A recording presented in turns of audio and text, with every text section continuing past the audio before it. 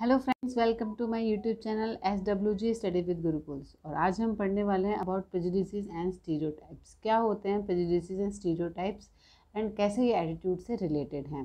तो friends when we talk about the prejudice it what it is it is basically a baseless preconception और attitude toward a member of a group मतलब एक ऐसा pre conceive that एक ऐसी assumption जिसका कोई base नहीं है। मतलब कोई भी ऐसी बात मान लेना जो हवा में है जिसके कोई तथ्य नहीं जिसके कोई लॉजिक नहीं है। एंड मोस्ट इंपॉर्टेंट बात यह है कि ये ज़्यादातर निगेटिव होते हैं। तो इनका हम क्यों पढ़ रहे हैं? ये हम इसलिए पढ़ रहे हैं क्योंकि इनका बहुत स्ट्रॉन्ग प्रभाव देखा जाता है इन्फ्लुएंस देखा जाता है on how people behave and interact with others कैसे दूसरे लोग आ, के साथ बिहेव करते हैं और कैसे उनके साथ मिलते जुलते हैं या इंटरेक्ट करते हैं। एंड बहुत इंपॉर्टेंट बात जानने की ये है कि कुछ लोग जो है कॉन्शियसली ऐसे करते हैं बट कभी कभी and most of the time ऐसा होता है कि ये अनकॉन्शियस हो जाता है। मतलब हमें खुद को ही नहीं पता चलता कि हमारे, हमने जो है कुछ प्रोड्यूस बना रखे हैं, वो इंटरलाइज हो जाती हैं।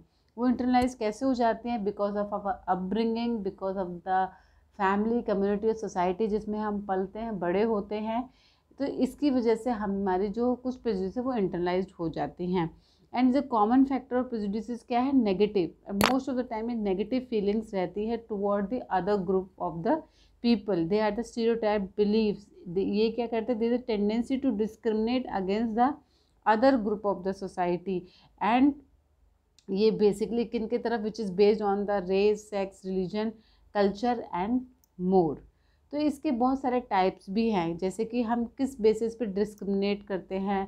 किस बेसिस पे बहुत सारे जो अभी भी हम इंसिडेंसेस देखते हैं मॉब लिंचिंग के या रेसिज्म के ये किस पे है? It is because of the factor like sex race age sexual orientation nationality and socio economic status उन इन सब फैक्टर्स के बेसिस पे ही इनके टाइप्स बना दिए। जैसे कि आप देख सकते हैं रेसिज्म ब्लैक एंड वाइट को लेके अभी भी यूएस जैसी डेवलप्ड कंट्रीज़ में राइट्स uh, हो जाते हैं। सेक्सिज्म ये तो ऑल ओवर द वर्ल्ड है।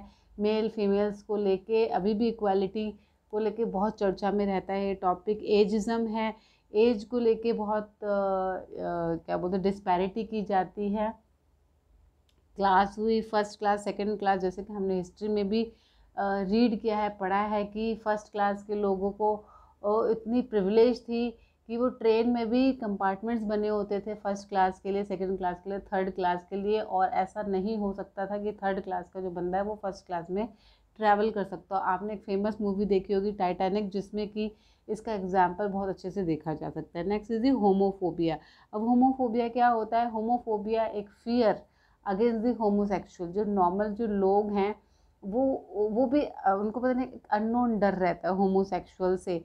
तो ये एक डर भी, एक उनके एक प्रीजम्पन्स एक प्री कंसेप्शन है कि ये हमें नुकसान पहुँचा सकते हैं या हम पे अटैक कर सकते हैं like that next is the nationalism means अपने नेशंस को लेके भी बहुत ज़्यादा डिस्क्रिमिनेशन या फिर कहे कि प्रेजुडिस रहती है कि वो नेशन में ऐसा ही होता है या वो नेशन ऐसा ही करता है, उस नेशन में ज़्यादा टेररिस्ट पलते हैं, ऐसे ही कुछ धारणाएँ जो है आम हुए नेक्स्ट है रिलीजियस प्रिजुडिस जो कि बहुत है, हर जगह देखने को मिलती है। रिलीजन को लेके इतने सारे राइट्स हो जाते हैं, इतने सारे मॉब लिंचिंग होती है मर्डर्स हो जाते हैं। Next is the xenophobia xenophobia means fear of the foreign मतलब कहीं कहीं पे देखा गया है कि वो they don't like foreign people in their country जैसे कि कुछ डेवलप कंट्रीज़ में देखा गया कि जब एशियंस चले जाते हैं तो दे डोंट लाइक दैम वो बोलते हैं, ये हमारी जॉब ले लेते हैं। ये स्नैच कर लेते हैं, जिसकी वजह से हमें जॉब नहीं मिलती। अब ये उनकी प्री कंसेप्शन है so these are some types of the prejudice next are the how prejudice and stereotypes are interrelated and how they take as a topic so, when we discuss about the prejudices, they are basically the stereotyping and the discrimination and bullying जिसका result होता है। When we prejudice तो इससे stereotypes बन जाते हैं, एक fixed belief बन जाते हैं। हम डिस्क्रिमिनेशन करना सीख जाते हैं। हम बुलिंग बुलिंग का बहुत मेन कारण यही होता है कि हमारे जो प्री कंसिप्ट थाट बना लिए किसी इंसान के लिए फॉर ग्रुप ऑफ़ पीपल को, उसको फिर बुली करने लगते हैं। So in many cases prejudice are based on the stereotypes मतलब जो प्री कंसेप्शन बना ली जो फॉल्स बिलीफ हमने अपने माइंड में बना ली हैं। And stereotype is a simplified assumption about a group based on the experiences and belief मैंने जैसे बोला कि अपने एक्सपीरियंस के ऊपर अपने बिलीफ बना लिए मतलब एजम्पन बना ली है, जिसके कोई रैशनल नहीं है, कोई कोई लॉजिक नहीं है। So stereotypes can lead to the faulty belief ये जो फॉल्टी बिलीफ मैंने बोला कि मिस बिलीव्स होते हैं हम अपने ही प्रिकंसेप्शन से बना लेते हैं। So they can lead to both prejudice and discrimination but यहाँ पे गॉर्डन आलपोर्ट कहते हैं कि प्रेजुडिस जो स्टीरियो टाइप्स हैं they emerge as a part of result of normal human thinking वो इसको नॉर्मल ह्यूमन थिंकिंग का पार्ट मानते हैं। क्यों? उनको लगता है in order to make sense of the world around us जो इन्फॉर्मेशन हमें इतनी सारी मिलती है, उससे सेंस निकालने के लिए, उसको समझने के लिए ये स्टीरियो का एक पार्ट बन जाता है। कैसे? कैसे प्रिजुडिस और स्टीरियोटाइप मिस्टेक बन जाती है because of our normal thinking उनका कहना था कि हम इस वर्ल्ड को सिंपली तरीके से समझने के लिए, आसान तरीके से समझने के लिए अंडरस्टैंड करने के लिए कैटेगरीज बनाते हैं, किसकी पीपल, आइडियाज़ एंड ऑब्जेक्ट्स ही सो दैट हमें जो इतनी सारी इन्फॉर्मेशन मिल रही होती है, बहुत सारी इन्फॉर्मेशन हमें मिल रही होती है, उसको लॉजिकली मैथडिकली एंड रेशनली समझने के लिए हम कैटेगरीज बनाते हैं, ताकि हमें क्विक इन्फॉर्मेशन प्रोसेस कर सके। बट इसके साथ क्या होता है?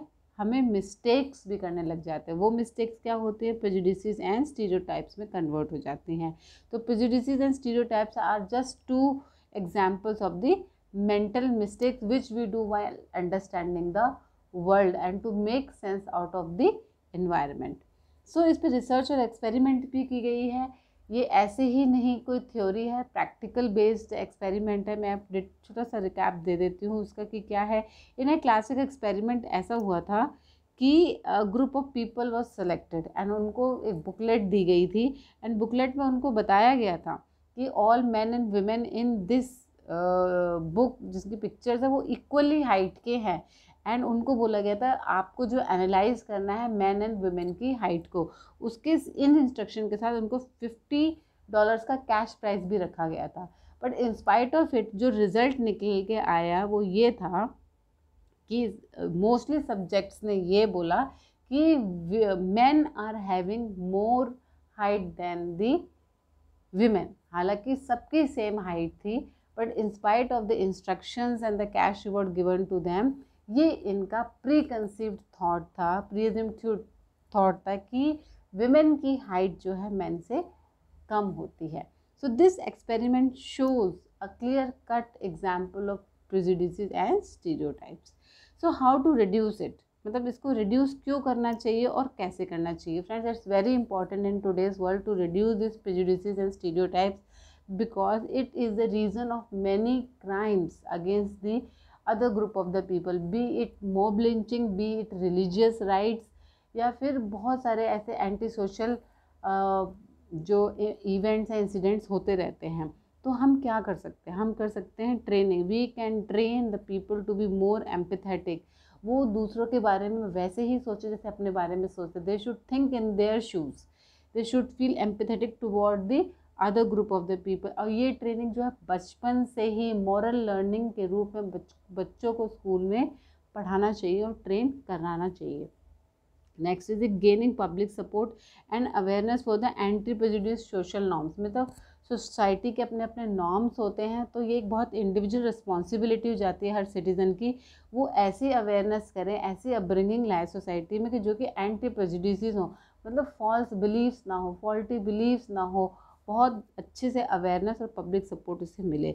Next is a increasing contact with a member of other society no it's very evident जब टू ग्रुप्स ऑफ़ मेंबर निरंतर इंटरेक्ट करेंगे और कॉन्टैक्ट में रहेंगे so it creates a very good ambiance good environment to live in and वहाँ पे chances कम हो जाते हैं प्रेजुडिस के। Next people make aware of the inconsistence of their own beliefs अब ये जो है थोड़ा सा साइकोलॉजिकल पॉइंट आ जाता है कि लोगों को अपने अंतरात्मा में भी झाँक कर देखना चाहिए कि उनमें क्या कमियाँ हैं rather than putting their assumptions और preconceptions on the other group अपने इनकन्सिस्टेंस को पहचानना। नेक्स्ट इज़ जो गवर्नमेंट का काम हो जाता है कि passing laws and regulation that require fair and equal treatment for all group of people आजकल वैसे तो मोस्ट ऑफ़ द कंट्रीज़ है डेमोक्रेटिक बट अभी भी कुछ ऐसी कंट्रीज़ हैं जहाँ पे ये नहीं है तो वहाँ पे ऐसे लॉज एंड रेगुलेशन लाने चाहिए। तो friend this was about the prejudice and stereotypes I hope आपको कंसेप्ट क्लियर हुआ होगा। अगर फ्रेंड्स आपको मेरी वीडियोस अच्छी लगती हैं वर्थफुल लगती हैं तो प्लीज़ शेयर सब्सक्राइब करिए and keep motivating me to put such videos for you. Thank you.